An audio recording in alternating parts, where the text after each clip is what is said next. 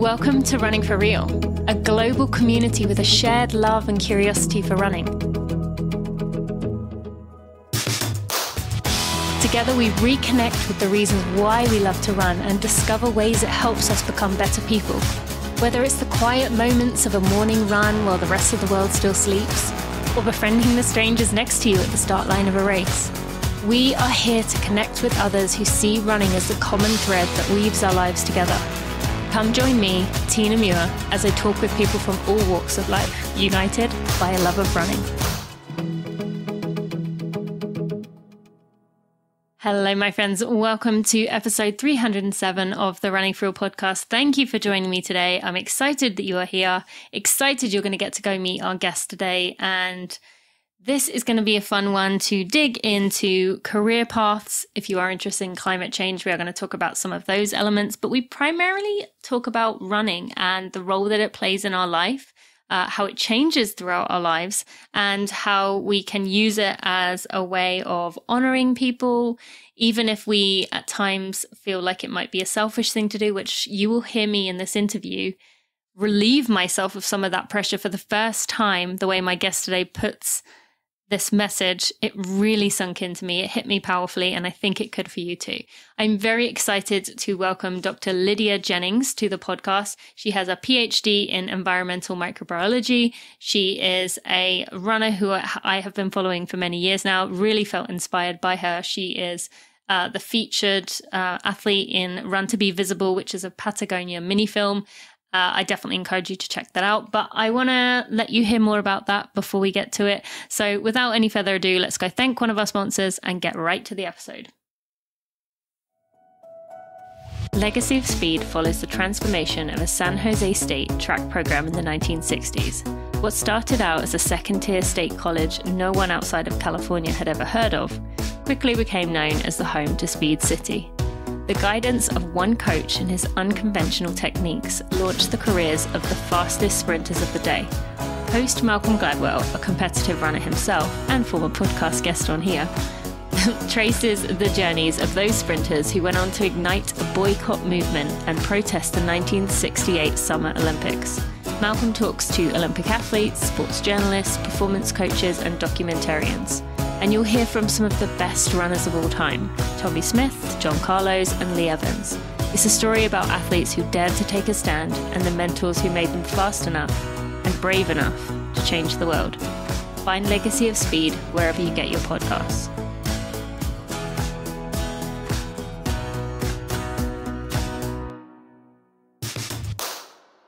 Dr.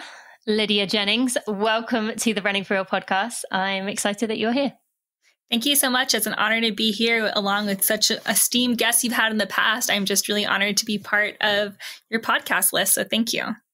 No, I'm excited to have you. And uh, I watched a few weeks ago, um, I was watching something where you were talking about uh, owning that doctor in front of your name, which is why I wanted to make sure I pronounced it. Is it starting to sink in yet that you you do have a PhD in environmental microbiology? Um, and that's something that's tough. A lot of work to go into that. But do you feel like you're owning it now, or does it still feel weird to say?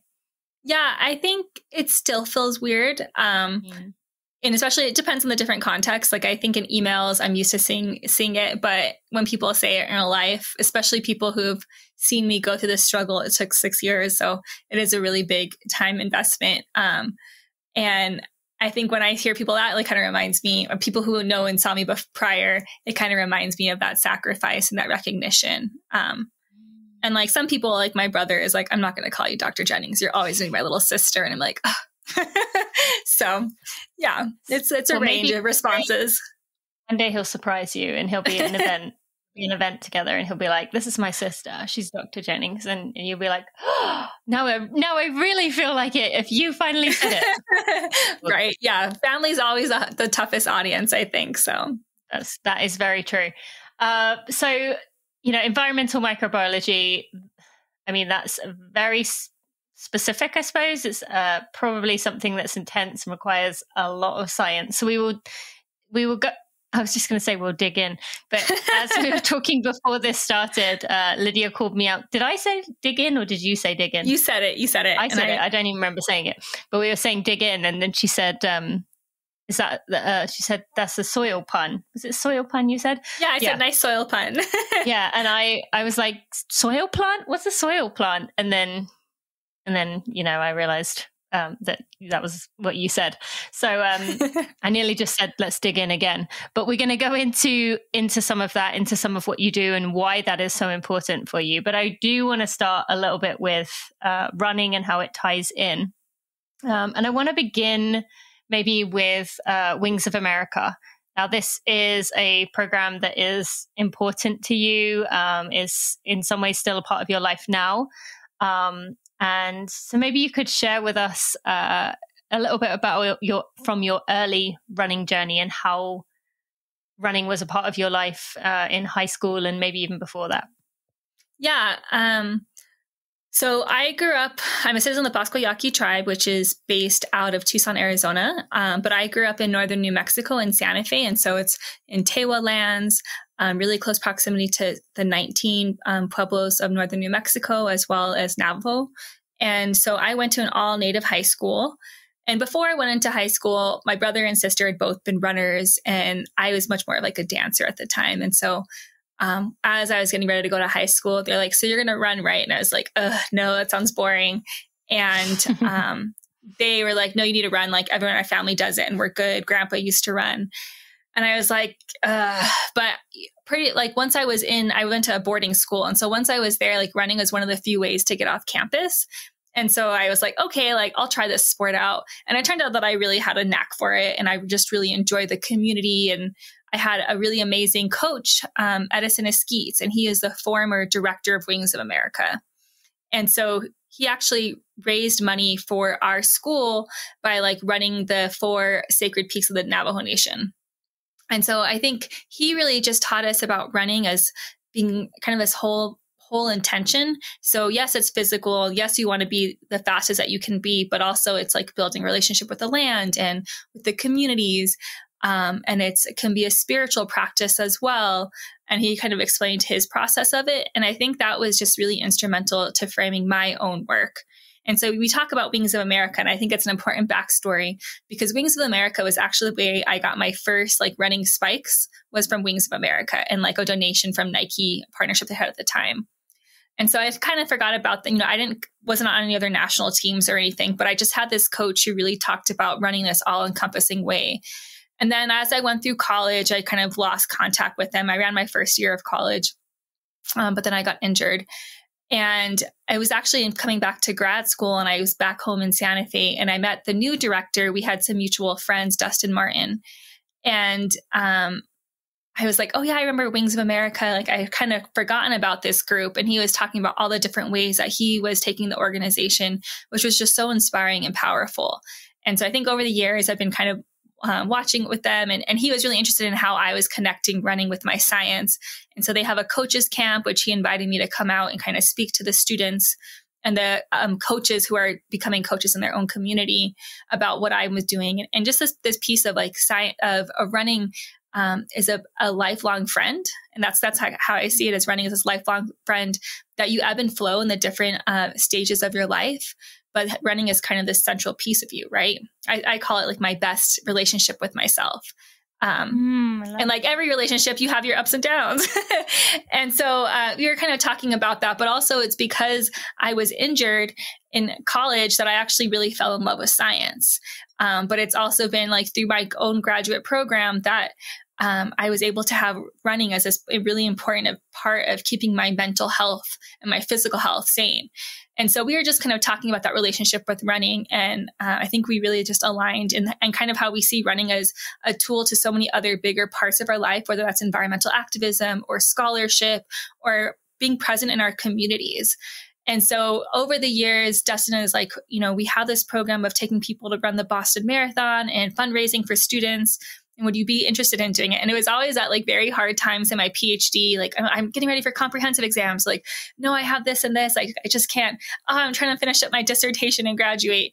And so finally, actually, this April in 2022, um, I feel like things aligned. And he offered again, like, would you be willing to come out? It's going to be the 50th year of the woman running and running the Boston Marathon. Would you be able to come out? And I was like, yes. I have to say yes now because I don't know what's happening next in my career that I might not have that flexibility. Um, and my my postdoc advisor, I'm I'm a postdoc now, I should say, at the University yep. of Arizona. She's also a runner and was really supportive. And then I think a piece of that was like, well, I want to tie it to my own scholarship and like thinking about how the whole foundation of, of, running for me and, and this relationship with Wings of America has come about. You run for more than just yourself. You're running to raise money for others, which is what I was doing at, at the Boston Marathon was raising money for the Wings of America program. But just thinking about this really interesting way that this program has come into my life at really important places. Um, exactly. Yeah yeah, has been just really have been really beautiful. So I ran the Boston Marathon in April, and that was just an amazing experience. Yes, yes, and we will, and we will probably go into that a little bit later. Um, I didn't get to see you that day, but I, I was very aware that you were um, you were there, and uh, was excited to see you know that you you did it um, afterwards. So um, we will dive into that um, in a little bit later. I want to a few things. One, I um, I want to I want to be the this is me being running for real uh, for my listeners. I hadn't thought about this before, but you mentioned it, and so I want to kind of ask about it. But if I'm being insensitive here, please um, correct me. Say whatever you need to say. Um, you mentioned there that you went to a boarding school. Um, there's obviously been a lot of negativity around uh, boarding schools, especially um, with people from indigenous indigenous communities. Um, with you know what has happened, the um, children that were sent there, what the horrific things that happened to them tell us about like was this uh, was this kind of a, a, a, different situation in terms of this you said you went to a native school so um, mm-hmm. tell us about what that was what that was like for you in terms of that and then learning about um, boarding schools other boarding schools that maybe weren't uh, native people run uh, if i'm wording that correctly and uh, how that felt to know that that could have been a situation that you could have you know found yourself in at some point yeah, that's such a great question. And I really appreciate the awareness um, because it's something I've been thinking a lot about as all of these bodies have been covered at different mm-hmm. federal government or Catholic style boarding schools.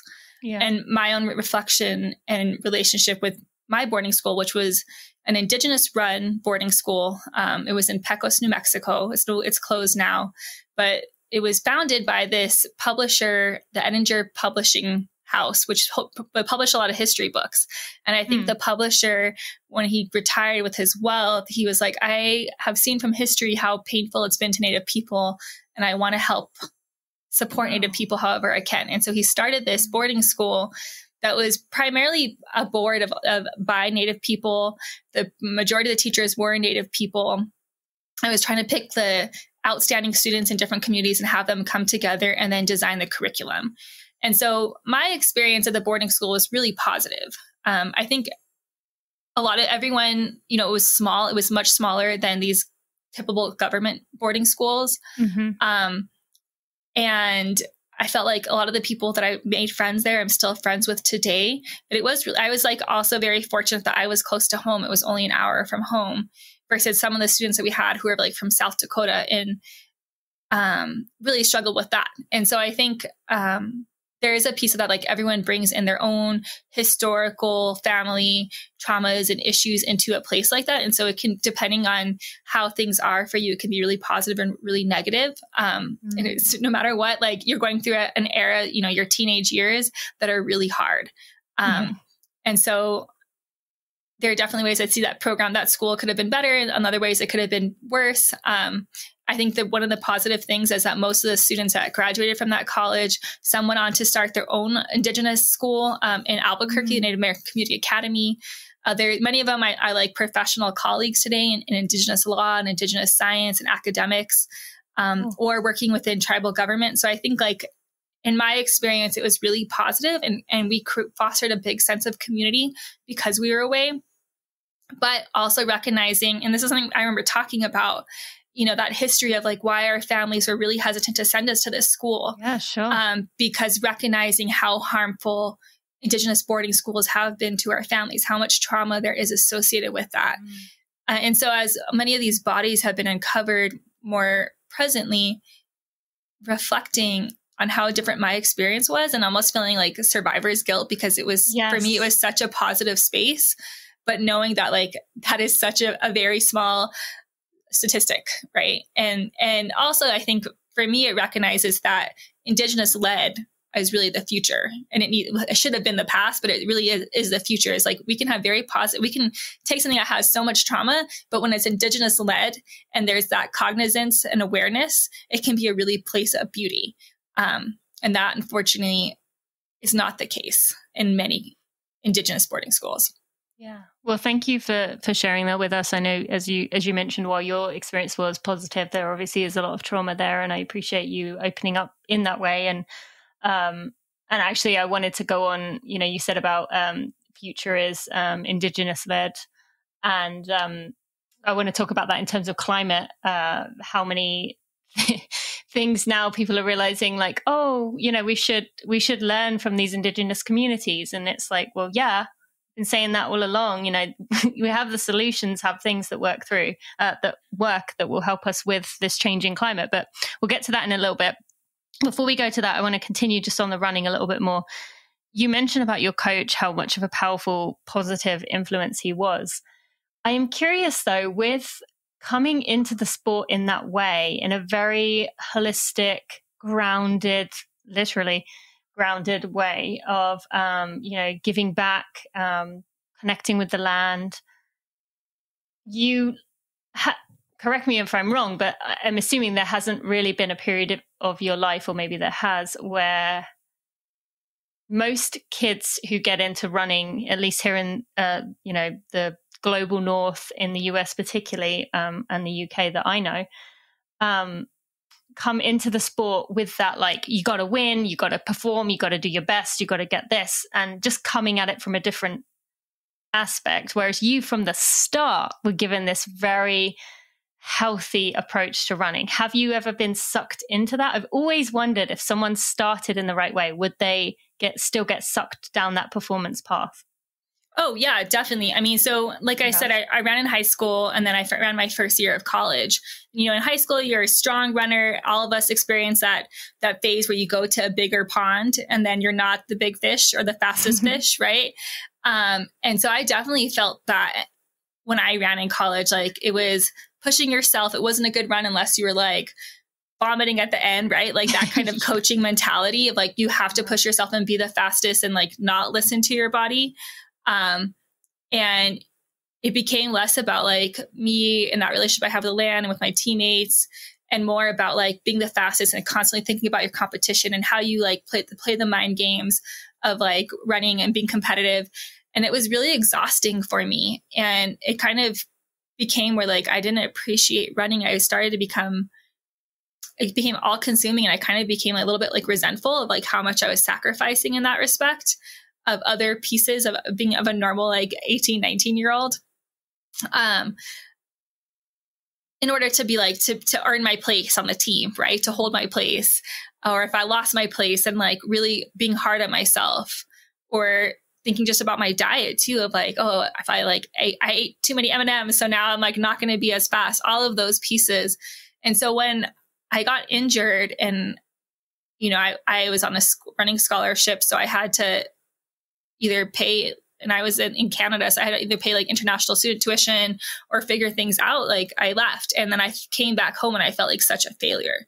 Um, and I think that piece is, is is really important to talk about, right? Is uh, like I feel like so often we push high school athletes, like, yeah, your life, your whole life is your athleticism, but what happens when you get injured?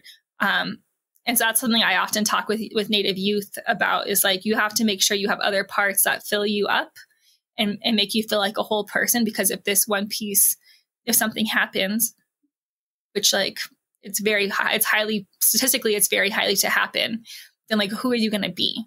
And like what are the other skills you have? I think like as an indigenous person, we're always reminded that like we have community, our community, we're a part of a community. And so I think that was what I really leaned into and then leaned into the science within that. But I think it can, it was, it was really hard regardless, um, of figuring out who I am if I'm not a runner.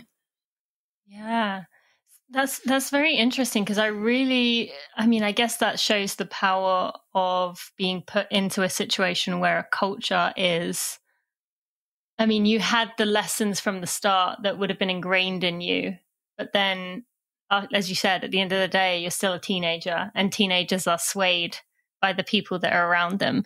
During that time did you were you still that connection to the land? Did you still were you aware of that even when you would go for a run with your team?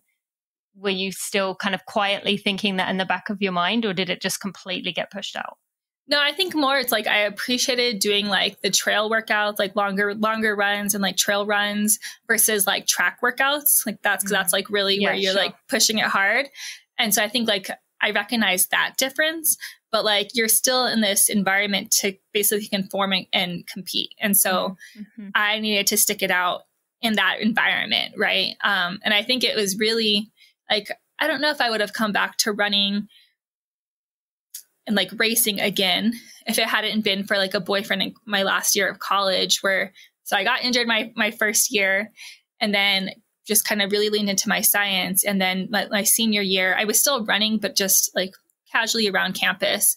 And my last year, my boyfriend at the time was really into trail running and backpacking. And so he was like, yeah, we should just do this trail run event. And I was like, well, I'm a runner. And like, he didn't, he didn't grow up as a runner. Like, let me see. And like, for a while, he was a little bit faster than me. And that competitiveness came up. I'm like, I got to be faster. and so, and then after he and I broke up after college, and I think there was like a piece, a little bit of a petty piece where I was like, okay, now I got to be better than him at running. And then it really opened up this whole world of trail running in a way that I didn't know existed. Um, and that, and like, and doing more longer distance running, which I, I appreciated a lot more than some of those faster workouts. Yeah. Okay, cool. Thank you for sharing that. And, um, you know, I'm obviously glad that that happened because it led you back into that, that led you, led you to this moment right now. And, uh, allowed you to find that healthy approach and, and perspective towards running again. I think it was in uh, Run to Be Visible, but I either read or, or, remember you saying about how typically running is seen as a, a selfish personal pursuit. Um, and as someone, you know, I had many years as a professional slash elite runner, and I definitely felt that so strongly, and I still do, you know, feel that when I uh, take time out for myself that I'm being selfish. But you've talked about, you know, running for community, embracing the joy that you have a body that can run, running for others and, and honoring them in that way, almost like a ceremony. Um, that's what, you know, I read or I think it was in Run to Be Visible. Was that correct? Yeah, that's right. We said yeah. that was like one of the uh, the first quotes in Run to Be Visible, which actually got okay. a lot of like interesting reactions in some of like the YouTube comments and stuff. So about that specific part. Yeah, about that. They're like, like especially in the pre when the trailer came out and that was like yeah. one of the first things we talk about is people like some people like really leaned into like yeah i run for myself like why should i be sh- shamed about that and other people were like we all run for the community so it was just really interesting to see the range mm-hmm. of reactions to like what i you know i think it's different cultural um, experiences with what that individualism versus community means but yeah it was just really interesting to see those reactions Although you break the cardinal rule of the uh, 20, 20 times, which is to read the comments. Um, I know. I well, I was really I was really nervous before Run to Be Visible yeah, came out. Sure. I was so nervous. Like I didn't sleep the night before uh-huh. because it's so scary to put that much of yourself out there on the internet to be consumed and judged. Um, yeah, and that has been a, a really I mean, I've been very fortunate, like Patagonia and the filmmakers were really like mm-hmm. making sure that um, I was protected I, I, in some ways because it came out on on Indigenous Peoples Day or Christopher Columbus Day, and so some people were really like angry just about that. Oh, piece. like fired up, yeah, yeah. yeah they're yeah. like Columbus was running for like or sailing for a community. I don't know, like weird things like that. Yeah. but I think those are like quickly taken down. But of course, I looked. that you're yeah, not supposed yeah, no, to do. It's, I know. It's almost impossible not to. It's it's really hard not to. Okay, so just for anyone who doesn't know, what is Run to Be Visible? Just so you mentioned that there. Yeah. Um, so Run to Be Visible is a short film, about 18 minutes, that was produced by Patagonia. um, and the Rising Hearts founder Jordan Daniels, and um, it. Yeah, she's been on the podcast. And it's basically, I graduated the class of 2020. My graduation was canceled. I didn't know, I had to figure out a different way to celebrate. And so I decided to run 50 miles along the Arizona Trail, but also along an area that I had studied extensively through environmental impact statements and uh, different reports about this mine that was going to was potentially going to go in this area, which may still go in this area. Uh, and so I ran 50 miles, but I wanted to dedicate each of the miles to different Indigenous scientists who inspired me and raise I raised a little under ten thousand dollars for um, scholarships for Native students whose education was impacted by COVID nineteen. So that's like the, the the grand summary, but it talks the film itself talks a lot about mining issues within the Sonoran Desert and also how they impact Indigenous people. Um, about my run, and we have a list of 50 Indigenous scientists who kind of inspired my work. And I think it's really important to mention that piece because at the time in 2020, when we there are all of these really critical conversations happening about who are our heroes, um, who are the founders that we celebrate in our fields of study, which are typically like old white men. But there have been many indigenous scholars who have contributed throughout time to the theories of science. And many times they've been co opted by some of these same um, old white men that we celebrate. And so I really wanted to create, and there wasn't at the time any kind of resource of Indigenous scientists. Um, and so I wanted to create what didn't exist at the time and also be able think of the past but also build for the future and that's the part the piece of raising money for future indigenous students who are struggling um, i myself supported myself through undergrad with a lot of waitressing and bartending and so had we had the big lockdown and I wouldn't have been able to continue on in college. So I thought that, about that piece a lot as well. And so Run to be Visible is on YouTube. Um, if you want to check it out, I'd appreciate it.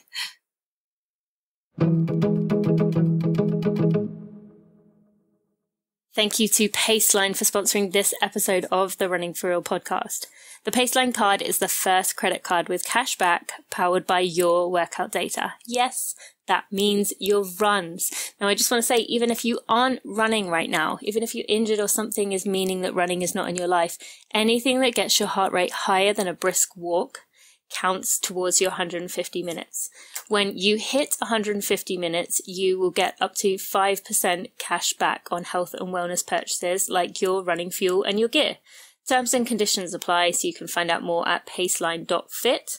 But Paceline believes you should be rewarded for being healthy. And people who are physically active for about 150 minutes per week have an estimated 33% lower risk of all cause mortality, basically any kind of death, than those who are not active. That's good for you and good for the world. And I want to just mention some of the some of the places where you can get up to 5% cash back. So Trader Joe's, Whole Foods, REI, where we get our running gear, all those purchases we can get up to 5% cash back.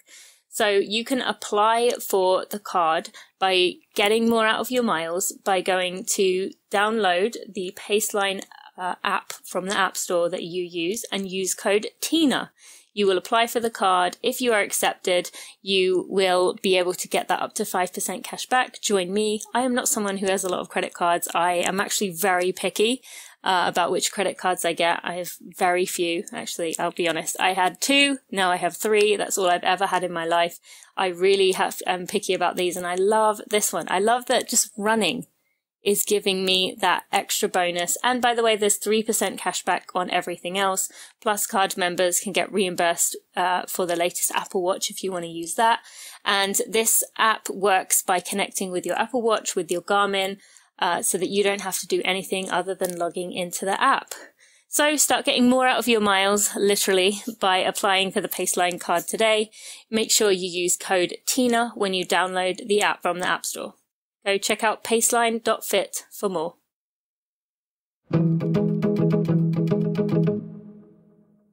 Yeah, I'll, put, I'll definitely put a link in the show notes and recommend it. I, I remember seeing it as soon as it came out. I really loved watching it. Uh, yeah, uh, Jordan's a friend and uh, just does amazing work. So that was um, really cool to see it. And I encourage everyone to go watch it if you haven't already. Patagonia kind of speaks for itself that they they would make something that was uh, excellent quality, and it really is. So, going, we'll go into some of the elements of that. I want to go back to what we were saying about it being selfish versus running beyond those endeavors. Uh, we talked about how you kind of got sucked into that mindset of, you know, that it essentially is a selfish thing. I'm doing it for myself, my performance. What is it? Can you just elaborate on that a little bit more for us now? Uh, now, in terms of um, seeing it as a selfish pursuit, as you mentioned, is what most people view it as. What would you say to maybe not convince them otherwise, but just to share your perspective on why it can be more than that. Yeah, I think running for a community, that piece really stems from my own Indigenous background and also learning from other Indigenous nations. Um, so there's a lot of tribes, particularly in Arizona, that host different community races. And part of it is to recognize that our communities have really high disproportionate rates of obesity and diabetes. And so having these community runs that you go and you compete and you do your best, but at the end of the day, like you have some, you're like, oh, like us Yaqui beat these this tribe, or we're like in Hopi lands, but we're gonna beat the now, you know, just like that kind of stuff. So recognizing the different nations that you represent and the families that have some of the families have really long legacies of being runners, and so that's a big point of like pride for yourselves, for your family, and for your your people. But the other piece that I've seen that I really have loved to see and learn from the Tohono O'odham Nation, a, a tribe in the Sonoran Desert, um, is how they will show up to non-tribal races as a team together, and they will all stand as each person comes across the finish line. They will stand and clap and wait for their other teammates to come through, and they will wait till the very last person comes to celebrate. And so, in that way, I think they really represent a great physical representation of that running for a community and finishing, starting together and finishing together, which I love. Um, but I, I, think also in general, as Native people, when we're often in um, many running spaces, even though we have very long histories of being runners, we're not well represented. And so I think that there's that other piece of running for community and that capacity of representation. And then also running for community in the in the way that I've done races and runs, and you have elders who are sitting by the finish line and they thank you for running because they can't do it anymore. Yeah. And so I really think about that piece too. And like, or, you know, and I was at Wings of America with these, these 16, 17 year olds and they were running so fast in times I could never envision. I'm like, run for me because I can't run that fast anymore, you know? and so I think that piece too is just recognizing that each step that we take, there's all of these people who, and people who've supported us to get to the place where we can take those footsteps. And so I think that's the part that I really carry within me is it's all of the people, it's even all the non-human relations that have helped support me, the lands that I run with, um, my dog who supports me, you know, the foods that I eat, the animals that have sacrificed themselves so that I can eat and be strong in the way that I am today when I run. And so I think that's what I think about is it in a much more holistic capacity. I love that. And actually, even I mentioned to you that I'd always felt, and I've said this so many times um, on this podcast and beyond about uh, when I was running as an elite, feeling selfish, feeling like my family, my friends, everyone had to navigate their lives around mine, which they did to to help me to be my best. But I had never thought of it in the way of, did I know when I was running my best and accomplishing something that they were experiencing joy? Yes. But could I view it as I was doing it for them partly to because they don't have that ability to be able to do that? I'd never considered that. So um, I love that way of thinking, and that actually I feel like that's given me a bit of a like lift off my shoulders, and um, hopefully I'll stop saying how um, damaging I think it was because you're right. To them, they did get to experience what that was like through me. So um, thank you for giving me a small piece of uh, redemption there.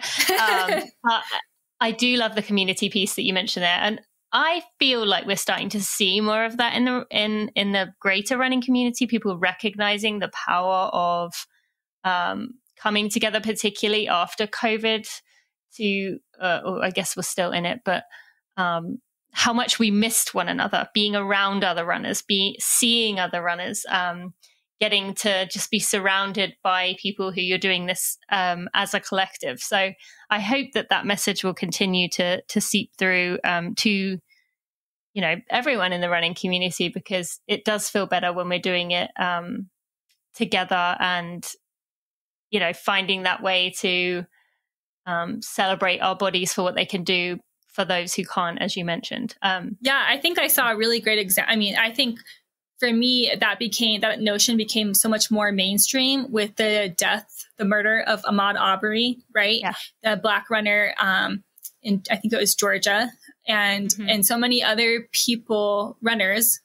And I think that's really important, like work in organizing um, by a variety of black runners to, to increase that awareness. But I think it was a really critical point for a lot of other runners who don't who aren't black to really recognize that this thing, this sport that you always say is so accessible and so safe isn't for so many. And I think it gave a lot of space for women to speak up more, which they have been. But like, it was like, well, look, there's all these intersectional issues that I would talk about in terms of why we have to be run, running safer and recognizing that like as we run many women right run, running for missing and murdered indigenous women like jordan or for the children boarding schools or just it became like i think or running for other black murdered people or asian hate crimes like i think that we just saw such a jump and increase of awareness about like running isn't safe for everyone and this is how this thing that i love to do that makes me feel good is also a really f- powerful tool to increase awareness.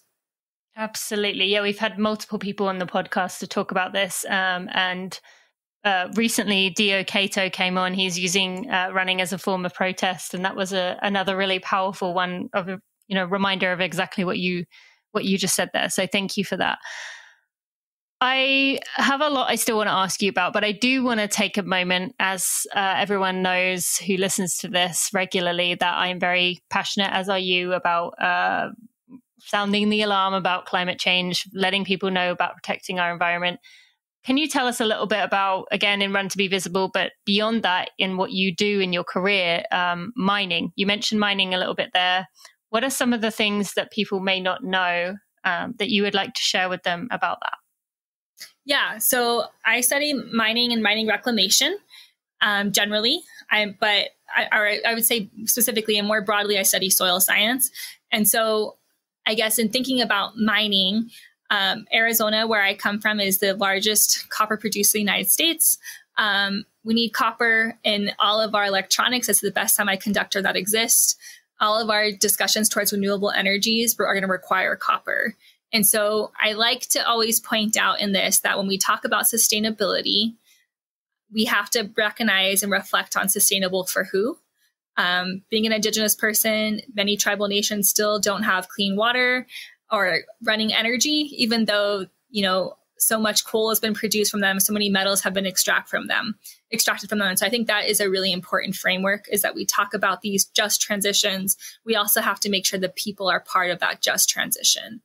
Um, and part of that means listening to tribal nations. So another piece of my work is really on tribal consultation and how tribal nations should be ge- leading and guiding these conversations about what just transition means. Um, also be I think a big piece of the, all of this discussion that often is left is is left out of the conversation is how we need to be reducing our energy consumption. And many nations have been doing that for a long time. We are not the primary consumers, but we are the primary producers of those metals of interest. So that's just a little of my spiel. yeah, no, thank you for that. And um, you also talked about uh, when you mine a pound of copper, 99% of you said 99 i can't remember the exact thing you said 99% of what is mined is waste correct is yeah it's rejected as waste and so we have to figure out yeah. ways to restore our ecosystems um, in cost efficient capacities. And you know i live in the sonoran desert so we are in the middle of a drought. Um, it's going to be those kinds of droughts are going to be increasing um, globally.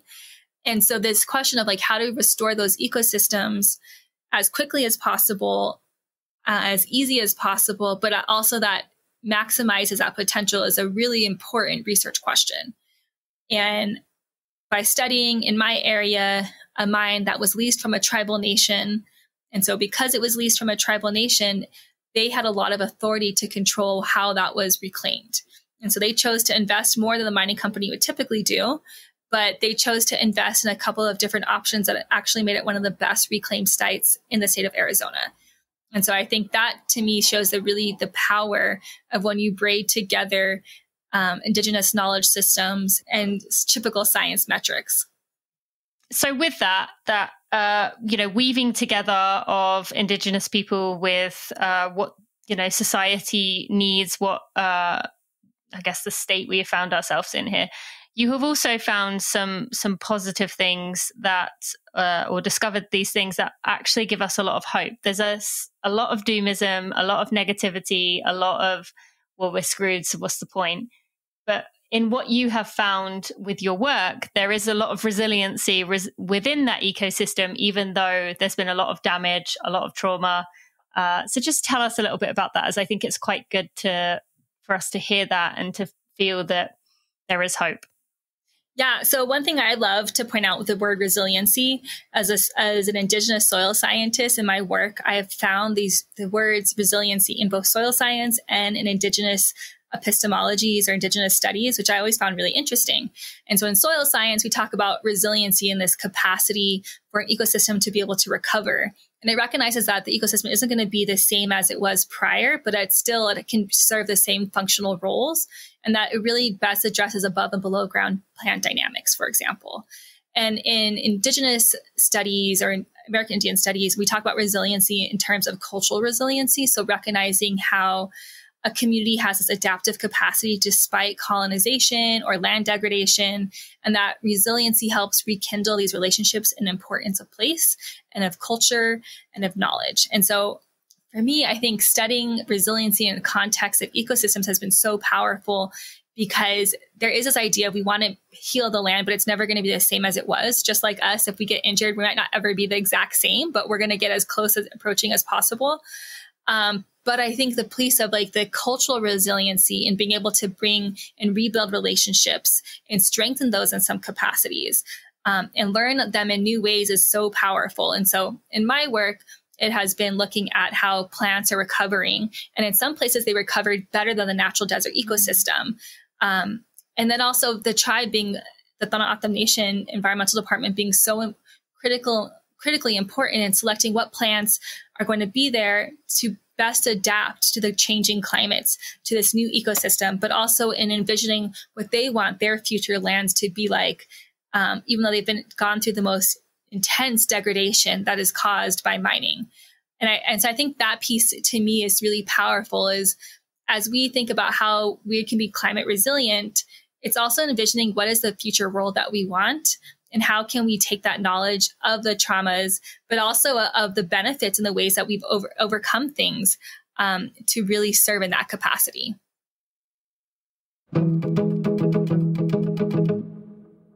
Thank you to Allbirds for sponsoring this episode of the Running For Real podcast. Now, you heard Tim Brown, the founder and CEO of Allbirds, just a few weeks ago I absolutely love talking to him, getting a bit of insight into where Allbirds came from. So cool. If you did miss that one, be sure to go back and check that one out.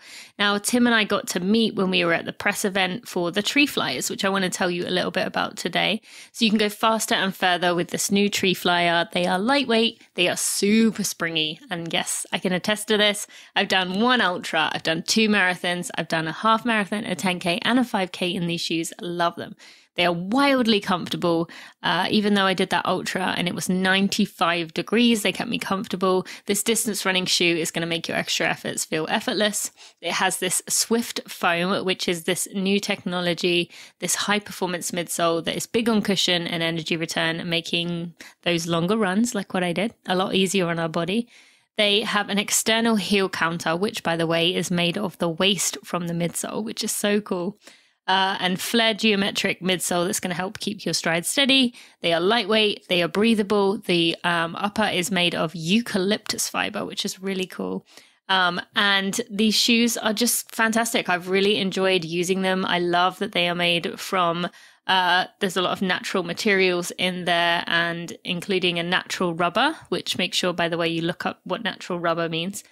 And they are just my favorite shoe right now. I'm wearing them often. You will see me in them all the time. And you, my friend, can go to allbirds.com to go check them out. They have men's versions, they have women's version. If you have an Allbirds near you, go check them out there. You can see them in person, try them on, and see what you think. Also, I haven't even mentioned yet, my favorite uh, feature is that they can slip on and off. You don't even need to, to untie the shoes to take them off, which I love. Go to allbirds.com to find out more. I've heard you talk about uh, you don't have kids right now, but you've talked about how you want to be able to tell your children and grandchildren you did all you could to protect the environment. Now, I don't think this necessarily has to apply to children. If someone listening doesn't have children, has no, you know, is not going to have children, that's that's absolutely fine. In general, though, there is uh, a lot of um, fear for the future uh, and what it will look like. I'm just curious with you, as this is a passion of yours, this is your career, this is something so integral to who you are. I really struggle at times, I've mentioned this a lot, with letting go of what I can control. Um, having having ha- as I have a two year old and a four year old, I am so aware of living as you mentioned, doing all I could it starts to drive you crazy after a while when you start trying to control every little detail and knowing that in the in the, the reality is your little changes you're trying to make aren't really changing anything at all at least in the day-to-day things. How do you handle that when you're in this day in day out? It's your work your career your um you know upbringing and what you believe fundamentally. How do you how do you let go of that yeah, well, I think this is why I run a lot. is like I need to have that practice of self care, right? But I also think just being an educator, and I, yeah, I don't have kids right now, but one of the things I love in, in teaching is kind of planting those seeds of hope in students. And so for me, I think about how I was trained to be a scientist and the, what I'm bringing to kind of in teaching to fill the gaps that I often felt and i and then i see how students respond to it and how thankful they are and how that begins to grow their own branches and trees. And i think it's just so powerful. When i talk to students who are in the same phase i was in high school they're just like leaps and bounds ahead of me. And they have to be honestly because they recognize these barriers and these hindrances that they, this burden that they're carrying this environmental burden that they're carrying but they are just so like so far ahead of so many adults. And like i'm still kind of in that in between phase but i just think that that piece even like middle schoolers who are just so cognizant of like environmentalism of the climate justice of intersectionality like all of that just makes me feel so hopeful. And so i guess it comes back down to this piece of like yeah there's a lot to be despairing about but there's also so much to be hopeful. And i think working with youth is is part of what really drives that hopefulness. So good to hear. And yes that's such a good point. Um, i do think that when i look to the youth and some of the things that they are doing i actually saw a video the other day uh, as it is uh, pride month as we are recording this uh, that chris mosier shared of oh, what was the school? I want to say it was seattle pacific I may have that wrong though. Uh, I'll put I'll try and remember to put the video in the show notes. And it was showing how um, the uh, president or the university, this was Catholic University, um, was uh, very damaging in the way they were treating the LB, yeah. LGBTQ plus. Did you see this? I um, did see community. that, and all the students handed out a flag on the stage. Yeah, yes, yeah. Every I single, that was so amazing. Yeah, maybe that wasn't every student, but there was. Uh, all you see is this them just handing him a flag. He takes it, he puts it down. They another one hands him a flag, he takes it, puts it down. It was really cool, and you know, Chris uh, mentioned about how that gave him hope, and I very much felt the same way. I was like, yes, like you, that you know, the the youth, uh, the you know, those generations coming up. That is what gives me a lot of hope. So thank you for that reminder to do that uh, myself and for anyone listening. Yeah, I mean, I think I'm not a parent, so I don't have the day to day, but I, I feel like the way I see my friends raising their kids too, and how cognizant, like how they're teaching them to handle being angry and emotions or handle stress. Like, I think that piece is so beautiful. And it makes me like just love my friends that much more because the humans that they are creating are so beautiful. So mm-hmm. again, I hope I get to have that blessing someday. Um, but in the meantime, I really appreciate being able to do it with students. Yeah, it's it's funny you mention that because um, I primarily uh, talk to my daughter like every day, multiple times a day. We talk about Mother Earth, and and she'll go into school, and even her teacher wrote her a letter at the end of the year saying like, "Thank you for all you've taught me about Mother Earth," and I was like, "Yes, I'm doing something." If I'm like getting her to like rub off onto people and talking about you know taking care of of the land and um, you know being respectful and doing what we can and you know, uh, not trying to, you know, kill bees, but just let them do what they're supposed to be doing, you know, leave them alone. Um, so, uh, yeah, that I will say, as you know, you and I don't know each other that like that way yet, but it feels good to um, have those wins where you hear that the messages you're trying so hard to put in are going in. Okay, back to you though.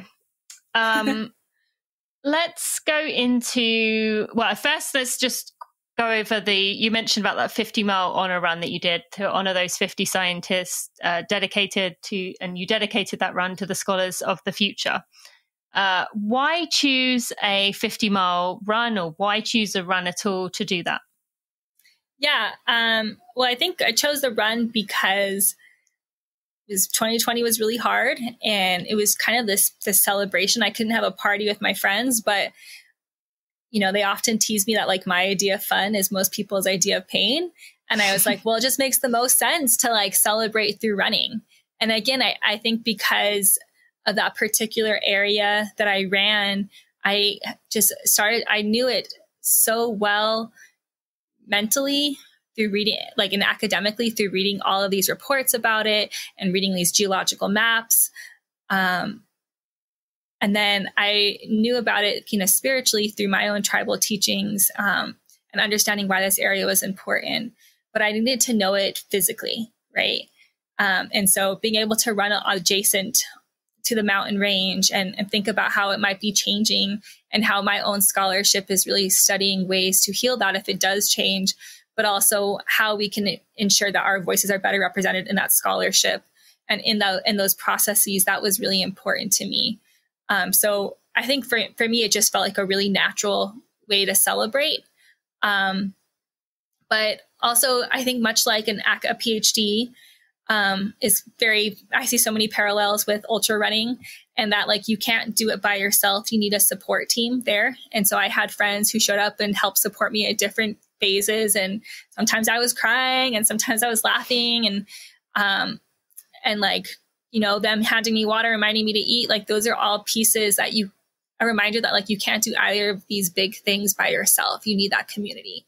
And so it, I couldn't have as many family members as I wanted to be there, but I could have friends who were, you know, boosted in there and able to show up and support and celebrate in that capacity. Mm, yeah, what a beautiful way to do it and, and such an important message. And again, this is something you'll learn about when uh, those of you listening go watch uh, Run to Be Visible. You will get to see more about that in there, and I'll leave that to uh, to your curiosity to go check that out to learn more. I want to finish up here by talking about this is something you mentioned to me before we start, started record, recording. And that you mentioned just there that 2020 was really hard for all of us. You know, there's no denying that. But you talked about your body changing ha- and having patience with your body when you have this past self that you constantly reflect back to. I would love for you to to talk a little bit about that, as that is something I know many people are struggling with right now, uh, because it just there's a lot of stress that we've taken in over the last few years, and uh, eating is sometimes something that we control, or running is something that we can control, but um, it also isn't the you know the fix for what we're dealing with emotionally. Yeah, I mean, I think I'm, I'm saying this as I'm here visiting my parents right now, and I was trying to put on some old running shorts, and like they just don't fit me anymore. And even though I feel like I'm running as much as I have all all my life, but recognizing just how my body is changing, and uh, it's just it's hard to, to be an athlete and a woman and like not feel bad about yourself um, because things don't fit the way they used to, or in running, like I'm not as fast as I used to be, even though like I eat better, sleep better now. And so I think I've definitely been just kind of processing a lot, processing a lot of that. And um, trying to have patience with myself. A friend of mine says you have to remember that our bodies um, got us through the pandemic, right? Kept us healthy and alive. And so that's the part that we should celebrating, not like shaming our body for mm-hmm. um, not being the way it used to be. but it's it's still a practice of, of trying to have that self patience and, and self love. And and so I think I'm I'm just kind of feeling that right now. Um, you know, I'm getting ready to run a, 100K in November and kind of getting back into training. And I'm like, oh, I need some bigger bras. Like things are jiggling in ways I'm not used to, you know, but that's like inevitable. We're going to change. And so it's more about how we adapt to that change, right? And how we have patience with ourselves to that change. And so that's what the mind frame I'm trying to have in this space. But I'm just going to be honest, like I, like everyone else, I think I struggle with it too. Yeah, it's so difficult, isn't it? I mean, particularly after this time of the pandemic, uh, where, or even especially right now, being in the phase that we're in, like, are we in? Are we out? What does the future look like? There's so much uncertainty in many ways, even more than, well, maybe not as much as at the very beginning, but there's still a lot of uncertainty as to what things look like. There's so much heaviness right now that um, just on our shoulders and in in the air. Uh, you can feel it all the time. It's easy to get sucked up into it. Uh, that of course we are going to look for things that give us just that little bit of relief, even if it's for a moment. Um, and I think the fact that you are able to speak about that in a in a I want to say a healthy way, but the fact you said you're kind of going more off clothes fitting rather than I've gained seven pounds or whatever it might be, uh, because that helps us to see that you can be aware of the fact your body is changing without it being a big thing of uh, I've got to change this right now, and then that takes you down an unhealthy path in probably a much worse way to where you are now letting it uh, identify your life or dictate things. Um, and as we mentioned about uh, embracing our bodies that are able to run, you're also then putting yourself at risk of not being able to do that one thing because you are not giving your body a healthy space to to live and thrive. So thank you for talking about that. I really really appreciate that. Yeah, my boyfriend says it's just an opportunity to go buy new running clothes. And so when he shapes it like that, I'm like, yeah, you're right. That's great. So. Yes. Yeah. I mean, uh, I, well, uh, when I, when I left uh, the elite world in 2016, I, um, I had to put all my stuff, all my previous clothes into a suitcase and just like shut them away because I knew uh, that that my body was going to totally change, and uh, it was quite a nice feeling to be able to just be like, okay, well, uh, I guess we get to pick some new things that are going to fit this body shape and, and try new styles and things like that. So, um, as long as we l- uh, look after and take care of our new clothes, then um, you know that's uh, a yeah, little exactly. side benefit. Yeah. Okay. So, is there anything else you want to tell to the community uh, who might be listening to this, or the the listeners who have really been enjoying what you're saying, but yeah, any final message you would like to remind them about based on your career or uh, your running or just anything really? Yeah, I mean, so many things. It's hard, but I think one one that I just want to bring attention to is um, myself and two other soil scientists. We did a 135 mile run in September um, for a project called We'll Run for Soil, with specific intention of really wanting to help the public think about the ecosystems in which we run with. Um, so not, and I say with, not on, because we're part of that ecosystem, right? Yep. Um, and part of it is like we did this really long. We did it over six days. Um, and, and, part of what we are talking about is not only the soils that we see, but also our identity as soil scientists in this very male dominated field. Yeah. Um, and you know, we weren't going for the fastest known time. We were rather slow. And like I remember telling people I'm doing 135 mile, and they're like, "Oh, over six days, like that sounds very luxurious." But part of that process was that we are going a soil scientist pace. And so we are not going fast, but we are sitting there and observing the ecosystems in which we're interacting. And so I just want to bring that because if you're interested in soils and how they play in climate issues, or even just like this appreciation for soils more than something that grows our food, um, that's what this film is going to be about. And so we filmed it, oh, um, and that'll be, we're working on the edits right now. So that'll be coming out hopefully in 2023. Um, so that's what definitely the some- name of the scientists. Oh, so the project itself is called We'll Run for Soil, um, and it's with Yamina, Dr. Yamina Pressler, and Dr. Karen Vaughan. Um, okay. And so that will be something that's kind of coming out on the horizon. Yes. And what was the other thing? Um, well, then I was just going to mention, like with the the Boston Marathon and running to increase awareness about land back. That was what, what I really yeah. what I dedicated the Boston Marathon to. And so, if you're interested in learning more about that, I have a very long Twitter thread on my website or on Twitter um, that kind of talks about why that movement is important and thinking about how we address future climate issues. Um, and so, those are both kind of running with the educational pieces to them. Yes, definitely. Uh, sorry, we should have we should have mentioned that. Tell go ahead and tell us a little bit about land back. Uh, you know, I think that's important to to share. Yeah, gen- like generally speaking, the land back movement is about um, refostering these relationships with ecosystems, and part of that refostering is that Native people having the right and abilities to be able to manage their own ecosystems in ways that they have historically been um, disenfranchised from doing so. And so there's this land back movement of this movement to for Native people to get their land back to be able to manage it in the capacity that is culturally appropriate. And so we talk about this a lot. We talked a little bit earlier about resiliency in terms of ecosystems. Well, this is a really big piece of that, that resiliency in ecosystems. And so what I, I wanted to highlight land back because I think people hear that and a lot of people think, oh, like the native people are going to take all the land away from us. And that's yeah. actually not what the case is. Even though that ancestrally is our traditional homelands and lands, a lot of the land back movement is actually, you know, land trusts partnering with tribal nations to return the land, or private owners returning their land back to a tribal nation, um, or, or companies that have recognized, you know, how they obtained that land was um, really unscrupulous and are returning. Even mm-hmm. churches are returning land back to the tribal nations to be able to manage it. And what's really beautiful in that process is that you see this resurgence of language. So many of the pieces of land that come back are like, oh, these are the place that like of where our ancestors came from, or you know that we are the water people and now we have this parcel of land back that allows our tribal nation to have access to the water in a way that we never historically had or even one example of the Ohlone tribe um, the, the, the Esselen tribe, excuse me, of the Big Sur, California. So all, for all of your runners thinking about doing the Big Sur Marathon, well, the tribe that's from that area, they were kicked off their land um, by a lot of ranchers and have never actually held title to their own traditional homelands. And so they've been this landless tribe for 200 plus years. I think longer than that.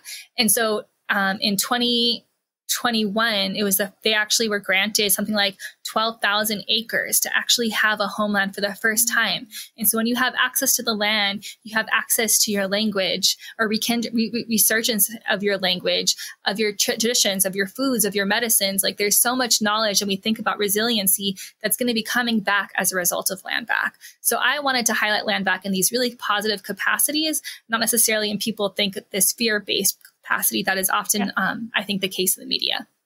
Yes, thank you so much for sharing that. I will put a link in the show notes uh, and make sure that uh, you know encourage people to go check that out. Uh, all the links we've talked about today. Lydia, thank you so much for sharing with us today. I've really loved getting to know you, and I'm sure the listeners have too. And uh, look forward to seeing uh, the next movie when it comes out and uh, following along with your career in the future. Thank you so much. Thank you so much. It was a pleasure to be here. Hi, friends. Just a quick message to say a big thank you to the Running for Real team. While I may be the face of Running for Real and the voice behind the podcast, there are a group of people who are working tirelessly to provide everything that runners could need within our community to make our community stronger, better, and evolve and grow and learn from one another. We are working really hard to make Running for Real the place we believe it can be within our community. I just want to take a moment to thank everyone on our team. That is Victoria, Stacy, Sandy, Sally, Maria, Kelsey, Kat, Jeremy, and Erica. I appreciate each and every one of you and the hard work that you put in. Now let's get back to the show. I really appreciated that conversation with Lydia and getting to know her more about her career, the things that she educated us on, and how she tied it all together. I thought she did that absolutely beautifully. I really enjoyed listening and learning and paying attention to that. There will be lots of uh, notes and links in the show notes for you to go check out. You can go to runningforreal.com forward slash episode 307. That's runningforreal.com forward slash episode 307. You can also find links to our sponsors in there. Allbirds, thank you for sponsoring this episode. Go to allbirds.com. Go check out those tree flyers I've been raving about. Uh, you will see why I love them so much once you get yourself a pair. I also want to uh, direct you towards the Legacy of Speed podcast that was mentioned in this episode. I am loving the episodes. They are so good. Uh, so go check that out wherever you find your podcast. There's also a link in the show notes. And also thank you to Paceline for offering us that uh, credit card that gives us 5% back on health and wellness purchases simply by logging 150 minutes a week. It is absolutely fantastic. And I just think it's such a good idea. So you can go to pacelinefit.app.link forward slash Tina, or you can just go to the link in the show notes. It'll be nice and easy for you to go get it. Thanks so much for listening, friends. I will see you next week. Thank you.